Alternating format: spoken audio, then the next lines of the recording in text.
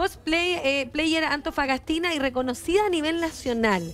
Eh, nosotros estuvimos conversando con nuestra amiga tras cámara y nos comentaba del fanatismo. Ella más que todo tiene eh, mm, ropa eh, de videojuegos. Esto, estos se podemos llamar traje, porque disfraces no, ¿cierto? Son trajes. claro, no, disfraces no son, disfraces son cosplay. son cosplayer y además eh, estos trajes maravillosos porque nosotros queremos conocer todo lo tuyo, querida amiga, porque sabes que primero que todo te ves preciosa. Ay, muchas gracias. Me encanta. Y además tenemos a nuestra invitada que eh, tiene la voz privilegiada en el día de hoy. Eh, Camila Araya, eh, bueno, tú eres cantante anime. Es más una afición. ¿Ya? Es un gusto que se tiene por eh, cantar la música japonesa.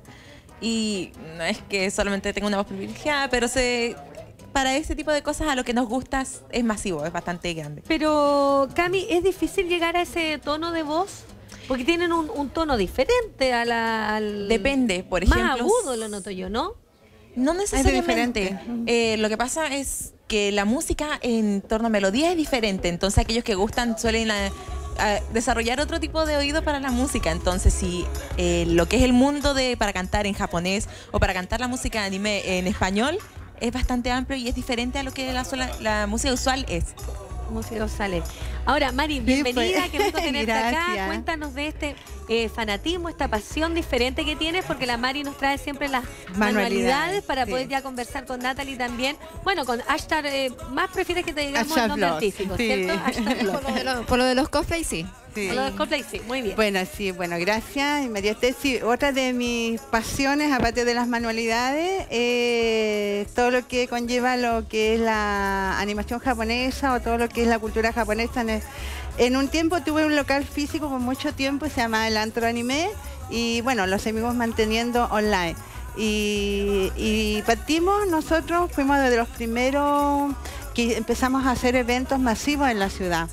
Ah, este 18 de octubre tenemos un evento en el en el Split y bueno, y tenemos a nuestra invitada que me la encontré ahora porque no la conocía ella, ah, que hace cosplay y, y- y muy lindo y reconocida también en Santiago, en varios eventos que ha ido a otras ciudades. Y Camila que la conozco, como, imagínate, cuando estaba como en cuarto o quinto básico, iba a mi local, imagínate, ahora está en la universidad. Entonces esto para nosotros es una cosa muy bonita porque es un reencuentro. Este evento nosotros cumplimos 14 años desde que se abrió por primera vez nuestro local.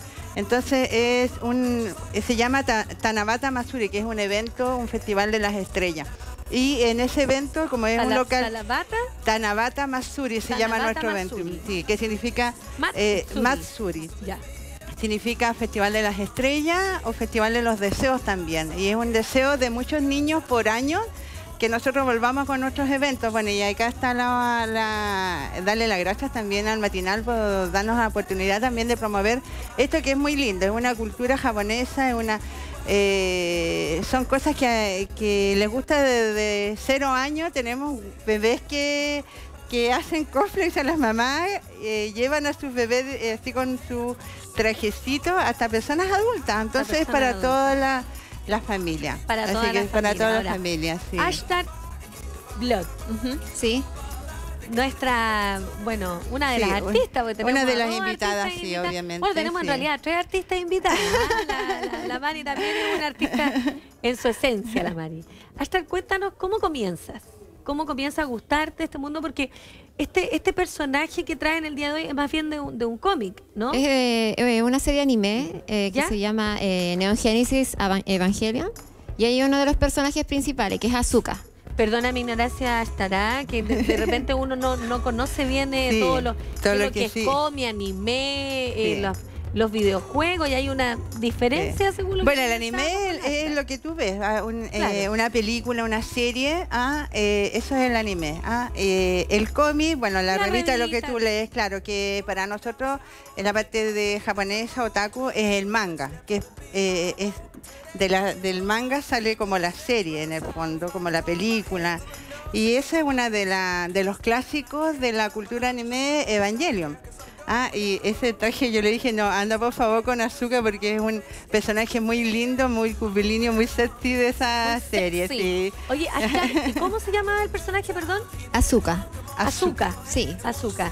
Bueno, cuéntame primero, antes de hablar del, del personaje, cómo nace esta pasión, este amor por, eh, por este mundo diferente, ¿cierto? No estabas hablando de esta eh, personaje anime, pero también tú decías que te inspiraban más en los personajes de videojuegos. Claro, los videojuegos me gustan harto porque yo de chica que juego mucho. O sea, yo tengo todavía mi, mi Super Nintendo en mi casa instalado. Eh, de repente amanezco jugando PlayStation. Así que me gusta demasiado los videojuegos. Y qué mejor que hace mis personajes. Ahora yo llevo súper poquito tiempo haciendo cosplay. Yo voy a cumplir recién en diciembre un año. Soy como nueva en el mundo del cosplay, así sí. que por eso no me conocían tanto. Pero lo empecé y quise empezar eh, con ganas De haciendo de una todo. y yo misma me confecciono mis trajes, así que por lo tanto soy cosplayer y cosmaker, que se llama. Que yo misma confecciono. Sí, Yo corto mis pelucas, hago mis cortes de cabello, hago mis trajes, mis accesorios, todo. Oye, hasta y uno, por ejemplo, es muy costoso tener esta pasión.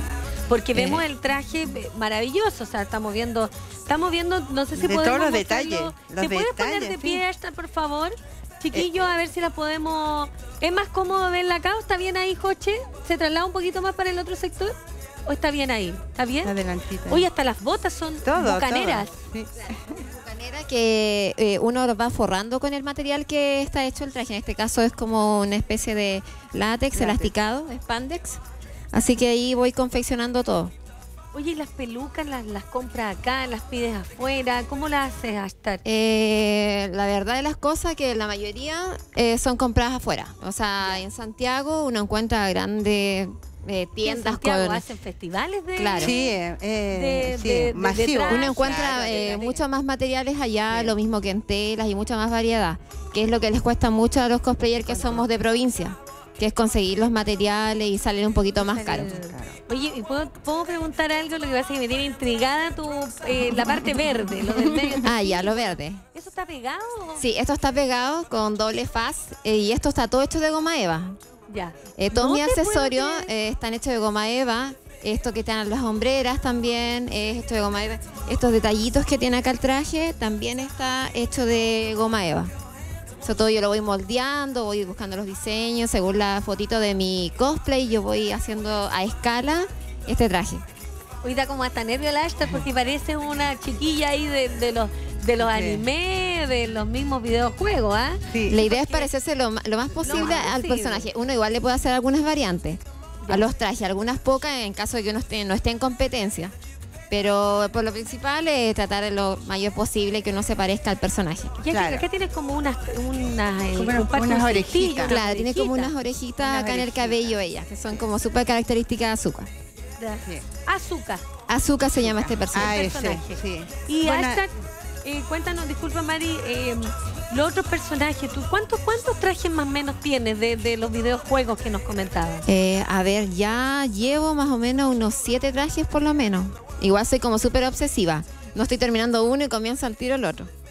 Ah, Así como que- todas las mujeres, las mujeres somos en general, somos como obsesivas con todo. Y con que aprovechando también que me han invitado a hartos eventos. De hecho, eh, paso el dato que voy a estar mañana en el Cine Hoyt. Eh, voy a estar con, eh, con los chicos de Toy Collector eh, por la película Caballero Zodíaco. Y voy a estar con mi cosplay de China o China, Dofyuko, de Caballero Zodíaco.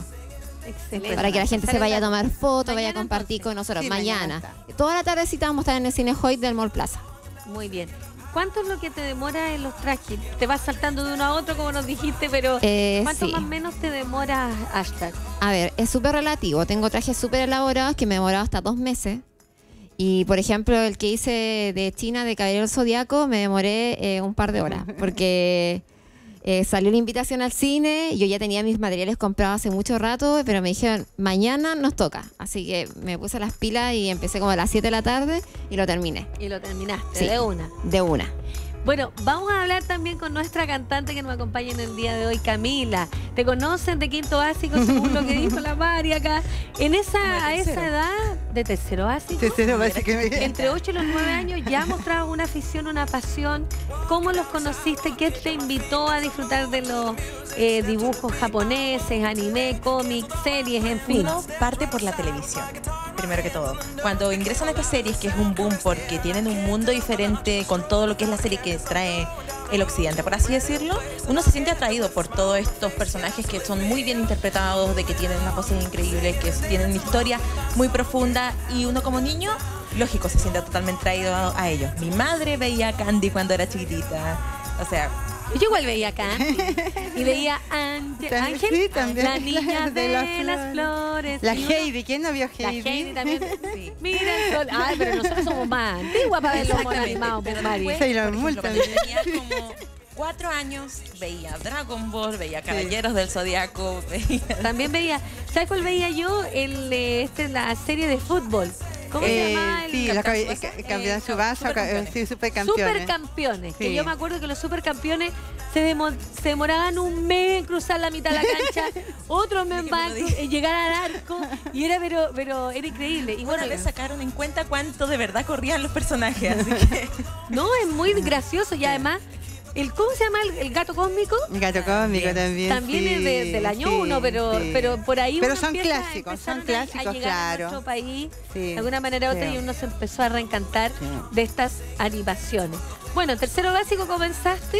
Sí, bueno, siempre me gustó cantar en lo personal y como no tengo tanta problema de personalidad, se me dio más fácil que al resto. Pero la primera vez que canté en un evento, yo tenía 13 años, si no me equivoco. Y toda nerviosa me subía al escenario, así con suerte acercaba el micrófono, además lo tenía lejos y ni siquiera se me escuchó. Pero así partí. Y así como yo, que llevo cantando tantos años en los eventos, hay muchas otras personas que tienen maravillosas voces y de que expresan su gusto por la música del anime y que son de verdad muy buenos artistas. Sería genial que se pudiese dar más espacio a estas personas pero gracias a esto, eh, mucha gente que no tiene su- eh, la capacidad de ser artistas pop, por así decirlo, eh, pueden cantar con las cosas que les gustan. Es Eh, como el sueño salir a cantar en un evento, eh, Claro. sal- eh, ir a cantar en un eh, karaoke o cantarse un tema completo, es un sueño, es un sueño. Entonces uno, estos eventos se dan en instancias como para hacerles cumplir el sueño a, los- a los niños en el los fondo, a los, niños. jóvenes y todo. Y de verdad que uno se sorprende la calidad de, de voz que tienen ellos y la parte histriónica cuando salen con su cosplay. A nosotros trajimos unas galerías de fotos también, así la podemos dar más ratito. eh, de los trajes también que ellos, de repente así como la Natalie, eh, los niños se, se esfuerzan por hacer sus trajes ellos mismos. Entonces, con la ayuda de las mamás, los papás, van familias enteras a ver a sus chicos ahí, a sus hijos, a sus sobrinos, a sus nietos, a ver que están participando y es como un sueño cumplido. Mira, Entonces, vamos a hacer. Acá tenemos, chicos, después de este móvil, un regalo. Llamen de inmediato. La primera persona que llame al 0552 25 25 37 se lleva este anime, este Es un póster pendón, es, Es un, un pe- pendón sí, es un póster para de tela. dejarlo en algún sí. lugar en eh, un en el póster de tela, dormitorio. de tela, sí, bien bonito, de Gundam. O Gundam, no sé cómo, algunos lo dicen Gundam, otros Gundam. Pero una serie clásica de lo que es animación japonesa. La primera Ya. persona que llame entonces Sí. al 0552 Que le guste el anime, 25, obviamente. 37. Que le guste el anime, que nos diga el personaje que le gusta, se lo regalamos de inmediato Sí. aquí gracias a la Mari. Sí. Mari, presentemos a nuestra cantante, a la Cami, ¿cierto? Sí, presentemos a la Camila. Bueno, ella eh, nos trae una canción de Sailor Moon, que es una, serie bastante conocida eh, por todos los que les gusta todo este mundillo, le digo yo, eh, hermoso. Así que ahí le vamos. Bueno, y recordarles nuestro, nuestro evento que es el 18 de octubre, desde las 12 del día hasta las 8 más o menos aproximado en el Split. Así que todos cordialmente invitados. Este es nuestro flyer, así que para que que lo vea lo reconozca, Tanabata Masuri se llama. Es un evento muy lindo al aire libre.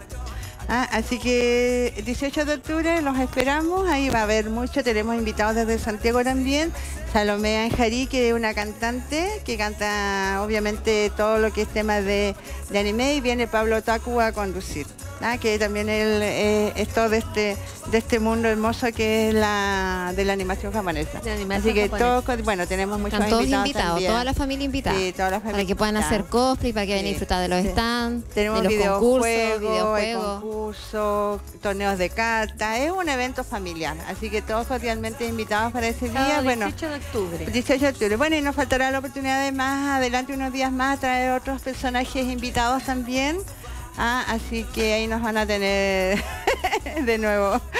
Y en nuestros Ando. estudios se encuentra Sí. entonces nuestra cantante Sí. que nos va a interpretar una canción De Sailor Moon, ¿sí? de Sailor Moon. Sí, Camila. bienvenida, con un fuerte aplauso.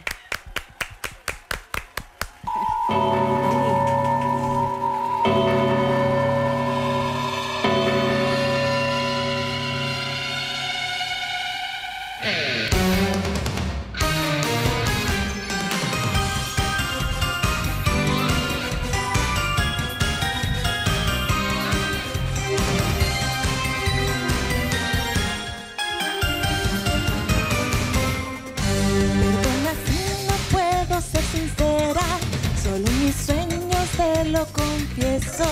Mis pensamientos giran en mi mente, cortocircuito me causarán. Ahora mismo quisiera verte, me hace llorar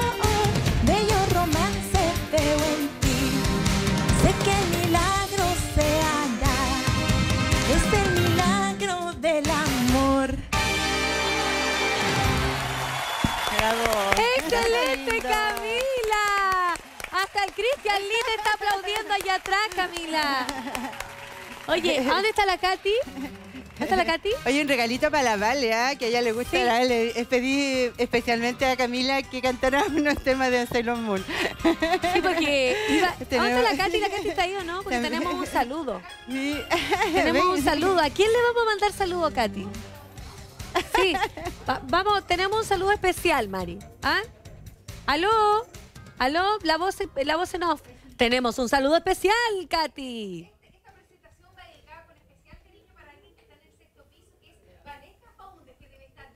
La Sí. emoción en este momento. Y además- Así que esto va dedicado para ella. ¡Eso, muy bien! Sí. Gracias, gracias, Vale. Y además, Vale, queremos decirte que va a ir el miércoles al Lemon. Las chicas están invitadas, así que Vale es la productora del Lemon. Está más, va a estar más. No queremos desmayo, ni grito, No. ni nada. Vale, contrólate. ¿Ah? Tranquila. Oye, Sí. Mari, gracias por estar con nosotros. Camila, ven, súmate con nosotros Venga. para poder despedirnos. Eh, en el día de hoy, invitar ¿cierto? a los amigos este de 18 de El 18 de octubre. sí, en el Split. En el complejo Split que está a un costado del Sokol por calle eh, entre Esmeralda y Orella, creo que sí, Orella con Esmeralda. Y aquí Bueno, se va a quedar el regalo. La primera persona que llame se Tenemos que llamar, avi- avisamos que... que- vamos a estar acá, así que tienen que llamar ahí. Va a estar aquí el pendón. Sí, sí. Bueno, el 18 de octubre nuevamente María Esther eh, es un evento familiar, como bien lo decíamos delante, ah, videojuegos, torneo de cartas, mucho, muchos están de, de diversas, vienen desde Santiago, gente que le gusta, imagínate. O sea, eh, la motivación que tienen por esto, por hacer como que esto vaya creciendo aún más de lo que, Aún más que ya está. que Sí, ya es está. una cosa muy, muy linda. La Muy cultura bien. japonesa, si tienen la oportunidad de meterse un poquito en internet y ver, es muy lindo, muy Te va a lindo. Muy lindo. Muchas gracias, gustar, María. sí. Que esté muy De nada, bien. gracias a Gracias, ustedes. chicas. No, muchas gracias a ustedes. ¿Algún mensaje, Ashton? Eh, no, solamente Ah, dejar los invitados para el evento el 18 de octubre, como dice. Y también para mañana en el Cine Hoyt, en la tarde, por si quieren ir a tomarse una foto con China Ofiuco, de Caballero Zodíaco. Caballero También Zodíaco, pueden ir a ver una colección hermosa con los chicos de Toy Collector, unas figuras preciosas de. Caballeros del Zodiaco. También va a estar invitado También pueden ir a verlo. también, claro, sí. también van a estar ellos. Vamos a tener lo- los chicos que- de Star Wars, de las comunidades Claro. de Harry Potter también. Tenemos muchas comunidades que hay acá en Antofagasta y que no son conocidas. Eh, mira, Cami, contesta el teléfono porque vas a regalar esto. A ver, a ver, a ver. ¿Aló? ¿Buenas? Aló, buenos días. Eh, ¿Quién habla? ¿Podría decirnos tu nombre? Claudio. Bueno, japonés. a ver, ¿alguna pregunta o algo? No, es que quisiera, quisiera ganarme el póster. ¿tú ¿Te con- gusta algún- ¿Le gusta algún personaje? ¿Te gusta la serie Gundam? bueno, yo soy más, más ochentero. ¿Te Ah, gusta el gato cósmico Veía entonces? así- Yo veía así los Moon y toda esa onda, Cosa Robot. bien. Claro, Claudio, ¿tú Perfecto. conociste nuestro local, el antro? El, el antro, ay, es que no, no, No lo conociste. mucho, pero yo sé que hay, hay hemos ido a varias ¿Eventos? Ya, Hemos ido a los animes que hacen en el Soho y todo eso. ya. Ah, qué bueno. Y a Bueno, la niña que está ahí con los... con el tachitos cos- ¿Con el en la cabeza, traje? Yo la, ¿Con la cosplay? conozco, sí. Ah, mira qué bien. Bueno, Qué. Claudio, te lo ganaste, te, Te lo ganaste, sí. te lo ganaste, te lo ganaste. Esto Ah. se va a ir para, esto se, este regalito se va a ir a Santiago porque Ah. es para mi sobrina. Qué Ella buena. es fanática de esto, así que va con la- vive y muere por eso, así que Qué bueno. esto se, ya, se va para allá. Ya, Gracias, Claudio, te lo ganaste, te lo ganaste. Claudio, Ya. tienes que venir a Conde el 2284, tercer piso, a buscar tu regalo. No nos cortes para que te tomen los datos, te mandamos un beso. Mua, Que estés muy bien.